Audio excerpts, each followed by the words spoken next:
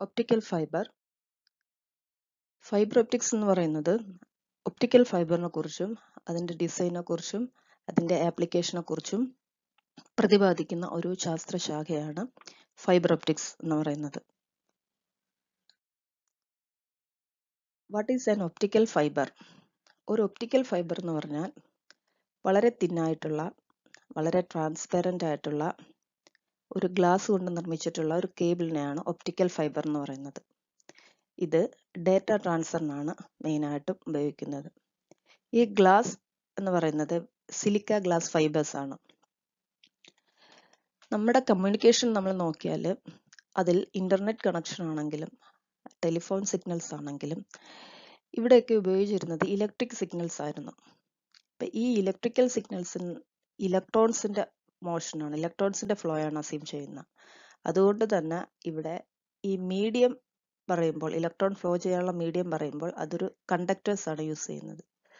Conductors എന്ന് പറയുമ്പോൾ മെയിനായിട്ടും കോപ്പർ വയേഴ്സ് ആണ് യൂസ് ചെയ്തിരുന്നത്. ഈ കോപ്പർ വയർ യൂസ് ചെയ്യുന്നിടത്താണ് ഒപ്റ്റിക്കൽ ഫൈബേഴ്സ് യൂസ് ചെയ്യുന്നത്. ഇപ്പൊ ഇവിടെ ഇലക്ട്രിക് സിഗ്നലിന് പകരം ഒപ്റ്റിക്കൽ ഫൈബറിൽ ലൈറ്റ് സിഗ്നലാണ് യൂസ് ചെയ്യുന്നത്. ലൈറ്റ് എന്ന് പറഞ്ഞാൽ ഫോട്ടോൺസ് ആണ്.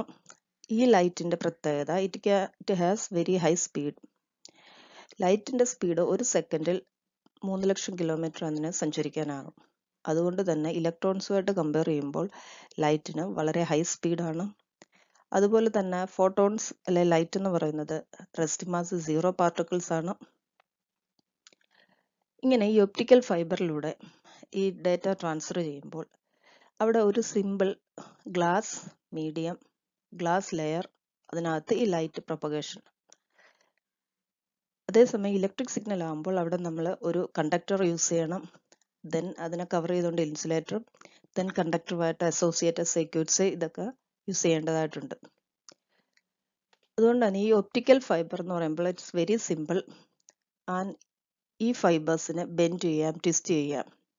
അതുപോലെ ലോങ് ഡിസ്റ്റൻസിൽ ഇൻഫർമേഷൻ ക്യാരി ചെയ്യാനുള്ള കപ്പാസിറ്റി ഉണ്ട്. ഈ ഒപ്റ്റിക്കൽ ഫൈബറിൽ യൂസ് ചെയ്യുന്ന ഗ്ലാസ് എന്ന് പറയുമ്പോൾ സിലിക്ക ഗ്ലാസ് ഫൈബേഴ്സ് ആണ്. പിന്നെ the silica glass fibres can carry light waves without attenuation ഈ ഒപ്റ്റിക്കൽ ഫൈബർ വർക്ക് ചെയ്യുന്നത് ടോട്ടൽ ഇന്റേണൽ റിഫ്ലക്ഷൻ ബേസ് ചെയ്തിട്ടാണ്. ഒപ്റ്റിക്കൽ ഫൈബറിൽ മെയിൻ മെയിനായിട്ടും മൂന്ന് പ്രധാനപ്പെട്ട ഭാഗങ്ങളാണുള്ളത്. ഒന്ന് core cladding and sheath total internal reflection when a ray of light passes from a denser medium to a rarer medium the ray will bend away from the normal the denser medium എന്ന് പറഞ്ഞാൽ ഒരു liquid മീഡിയത്തിൽ നിന്ന് light ray ഒരു air മീഡിയത്തിലേക്ക് സഞ്ചരിക്കുന്നു അതാണ് ഒരു ഡെൻസർ മീഡിയത്തിൽ നിന്ന് റെയർ മീഡിയത്തിലേക്ക് ലൈറ്റ് റേ പാസ് ചെയ്യുന്നത് so when the angle of incidence is gradually increased, the corresponding angle of refraction also increases. The angle of incidence means incident rayയും നോർമലുമായിട്ടുള്ള angle here in the figure it is phi. Then the angle of refraction means the refracted ray and the normal. So if we increase the value of phi as in the figure, then at a particular angle of incidence, the refracted ray will graces along the boundary or the refracted ray makes an angle 90 degree with the normal. And this angle of incidence is called critical angle. And in the figure it is labeled as phi c. When the angle of incidence phi becomes phi c the refracted ray will be or the angle of refraction will be 90 degree. And if we increase the angle of incidence above phi c if we increase the angle of incidence above 5C, then the refracted ray will be totally reflected into the same medium and that process is called a total internal reflection ഒരു light ray ഒരു denser മീഡിയത്തിൽ നിന്ന് rarer മീഡിയത്തിലേക്ക് pass ചെയ്യുമ്പോൾ അതിന്റെ angle of incidence അതിന്റെ critical ആംഗിളിനേക്കാളും കൂടുതലാണെങ്കിൽ ആ ലൈറ്റ് റേ ടോട്ടലി ആ ഡെൻസർ മീഡിയത്തിലേക്ക് തന്നെ റിഫ്ലക്റ്റ് ചെയ്യുന്നു. അതിനെയാണ് ടോട്ടൽ ഇന്റേണൽ റിഫ്ലക്ഷൻ എന്ന് പറയുന്നത്. ദെൻ ഒരു ഒപ്റ്റിക്കൽ ഫൈബറിന് മൂന്ന് പ്രധാന റീജിയൻസ് ആണുള്ളത്. The central region is called core and it is surrounded by another region it is called cladding and the outermost region it is called sheath or coating ഈ core റീജിയനിലൂടെയാണ് ലൈറ്റിന്റെ propagation നടക്കുന്നത്. കോറിനെ cover ചെയ്തിട്ടാണ് cladding കോറിനെയും ക്ലാഡിനെയും protect ചെയ്യാനായിട്ടാണ് sheath അല്ലെ കോട്ടിംഗ് യൂസ് ചെയ്യുന്നത്. അതുപോലെ കോർ ക്ലാഡ് ക്ലാഡിംഗ് റീജിയന് എക്സ്റ്റേണൽ ആയിട്ടുള്ള ഹാംഫുൾ ഇൻഫ്ലുവൻസസിൽ നിന്ന് പ്രൊട്ടക്ട് ചെയ്യുന്നതും ഈ ഷീത്താണ് കോറിനെയും ക്ലാഡിനെയും മെക്കാനിക്കൽ സ്ട്രെങ്ത് കൊടുക്കുന്നതും ഷീത്താണ് ഈ റിഫ്രാക്ട് കോർ റീജിയന്റെ റിഫ്രാക്റ്റ് ഇൻഡെക്സ് ക്ലാഡിംഗ് റീജിയന്റെ റിഫ്രാക്റ്റ് ഇൻഡെക്സിനേക്കാളും കൂടുതലായിരിക്കും. അതുകൊണ്ട് തന്നെ കോർ ക്ലാഡിംഗ് റീജിയനിൽ ടോട്ടൽ ഇന്റേണൽ റിഫ്ലക്ഷൻ നടക്കുന്നത്. കോർ റീജിയന്റെ റിഫ്രാക്റ്റീവ് ഇൻഡെക്സ് ക്ലാഡിംഗ് റീജിയനേക്കാളും എപ്പോഴും കൂടുതലായിരിക്കും. അതുകൊണ്ട് തന്നെ കോർ ക്ലാഡിംഗ് റീജിയനിലേക്ക് ഒരു ലൈറ്റ് റേ വരുമ്പോൾ if the angle of incidence is greater than critical angle then at the core cladding region the ray will suffers total internal reflection. So അതുകൊണ്ട് തന്നെ ആ റേ കോറിലേക്ക് തന്നെ റിഫ്ലക്റ്റ് ചെയ്ത് വരുന്നു.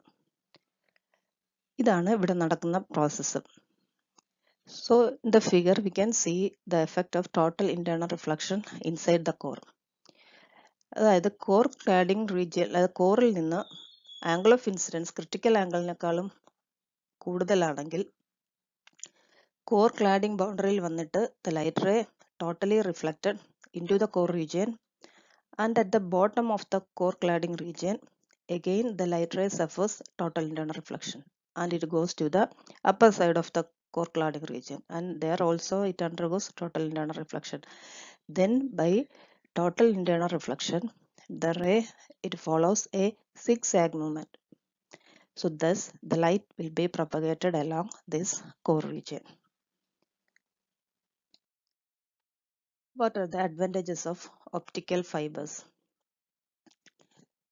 The first advantage is the optical fibers are cheaper. The optical fibers are made from silica. Silica is silicon dioxide and which is one of the most abundant material in the earth. So the optical fibers are much cheaper compared to the copper wires. And they are smaller in size, lighter in weight, flexible but strong.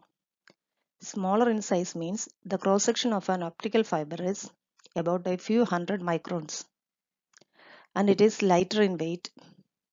And it also flexible. And but it is strong. The third one is the information carrying capacity is very high and hence it can carry information to large distances than the coaxial copper cables. And the next one is it can carry much higher data. And it is immune to electromagnetic interference and radio frequency interference. Because the photons എന്ന് പറയുന്നത് അല്ലെ light എന്ന് പറയുന്നത് neutral ആണ് electrically neutral ആണ് compare to the electric signal copper വയറിൽ use ചെയ്യുന്ന electric സിഗ്നലുമായിട്ട് കമ്പയർ ചെയ്യുമ്പോൾ ഒപ്റ്റിക്കൽ ഫൈബറിൽ യൂസ് ചെയ്യുന്ന ലൈറ്റ് വേവ്സ് എന്ന് പറയുന്നത് ന്യൂട്രൽ ആണ്. സോ അതുകൊണ്ട് തന്നെ അത് ഒരു ഹൈ വോൾട്ടേജ് ഫീൽഡ് അല്ലെ ലൈറ്റനിങ് ഇതിനെയൊന്നും അഫക്റ്റ് ചെയ്യുന്നില്ല. light is not affected by any high external voltage field or power lines or lightning or any background noises or any electric or magnetic fields. Hence it is more immune to the electromagnetic interference and radio frequency interference. The next is not hazardous. ഇവിടെ light സിഗ്നലാണ് ഉപയോഗിക്കുന്നത് കൊണ്ട് തന്നെ external influences അല്ലെ external field അല്ലെ ഒരു high voltage lines ഇതിനെയൊന്നും ഇത് affect ചെയ്യുന്നതേ ഇല്ല. അതേസമയം ഇലക്ട്രിക് സിഗ്നൽ ആണെങ്കിൽ it can cause short circuit in high voltage lines and it produces some sparking and such type of damages are also absent in optical fibres and next one is it is unaffected by atmospheric agents and the next one is no crosstalk between signals on different cables and no pickup of environmental noise സാധാരണയായിട്ട് copper cables അല്ലെ copper wires use ചെയ്യുമ്പോൾ അവിടെ ഒരു signal പാത്തും external ആയിട്ടുള്ള സർക്യൂട്ടും തമ്മിൽ ഒരു coupling ഉണ്ടാകാറുണ്ട് here there is no unwanted coupling between the signal path ഇവിടെ അതിന്റെ ആവശ്യമില്ല. കാരണം ഇവിടെ ലൈറ്റ് എന്ന് പറഞ്ഞാൽ it is not disturbed by any electric or magnetic field ഇവിടെ ഇലക്ട്രിക് സിഗ്നൽ അല്ല. ഇറ്റ് ഈസ് എ ലൈറ്റ് അല്ലെ? ഫോട്ടോൺസ് എന്ന് പറഞ്ഞാൽ ന്യൂട്രൽ ആണ്. So there a no need of cross talk between the signal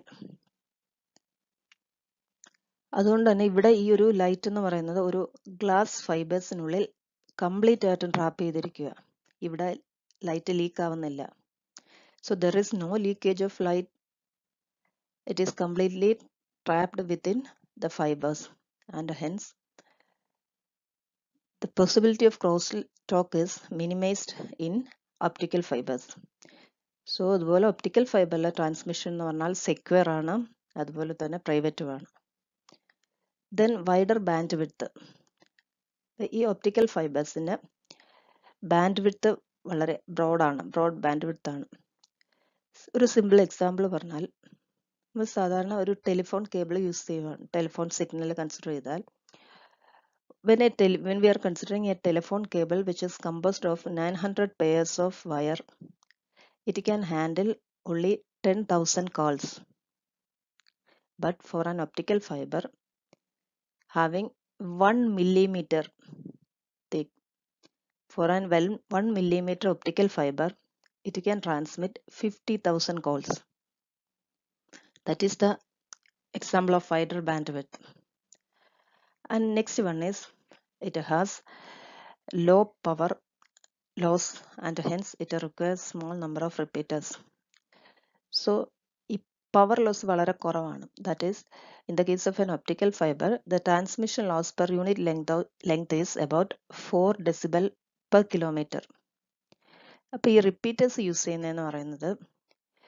ഒരു ലൈറ്റ് സിഗ്നൽ ഒരു മീഡിയത്തിലൂടെ pass ചെയ്യുമ്പോൾ അവിടെ അറ്റിനുവേഷൻ കാരണം ലോസ് ഉണ്ടാകുന്നു ഡേറ്റ ലോസ് ഉണ്ടാകുന്നെങ്കിൽ അത് ഓവർകം ചെയ്യാനായിട്ടാണ് റിപ്പീറ്റേഴ്സ് യൂസ് ചെയ്യുന്നത്. ഒരു ലൈറ്റ് സിഗ്നലിന് ഒരു മീഡിയത്തിൽ എന്തെങ്കിലും ലോസ് ഉണ്ടാവുന്നെങ്കിൽ പവർ ലോസ് ഉണ്ടാവുന്നെങ്കിൽ അത് റീ കോമ്പൻസേറ്റ് ചെയ്യാൻ ഓവർകം ചെയ്യാനായിട്ടാണ് റിപ്പീറ്റേഴ്സ് യൂസ് ചെയ്യുന്നത്. Repeaters means to regenerate optical signal ഇതിനായിട്ടാണ് repeaters use ചെയ്യുന്നത്. ഒരു ഒപ്റ്റിക്കൽ സിഗ്നലിനെ റീജനറേറ്റ് ചെയ്യാനായിട്ടാണ് യൂസ് ചെയ്യുന്നത്. ഇപ്പം സാധാരണ ഈ കോപ്പർ കേബിളുകളാണ് യൂസ് ചെയ്യുമ്പോൾ അവിടെ ഏകദേശം ടു കിലോമീറ്റേഴ്സ് കഴിയുമ്പോൾ റിപ്പീറ്റേഴ്സ് യൂസ് ചെയ്യാറുണ്ട്. കാരണം റീജനറേ സിഗ്നൽ റീജനറേറ്റ് ചെയ്യാനായിട്ട്.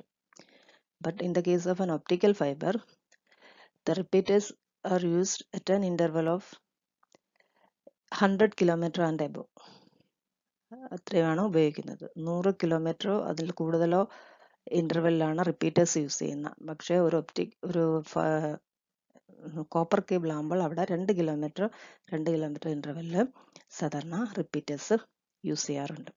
അതുകൊണ്ട് തന്നെ compare to the copper cable or copper wire the optical fiber is very useful and very it has so many advantages.